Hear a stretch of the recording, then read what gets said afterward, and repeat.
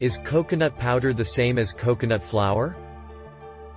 Coconut flour is a gluten-free flour that is essentially dried coconut in powdered form.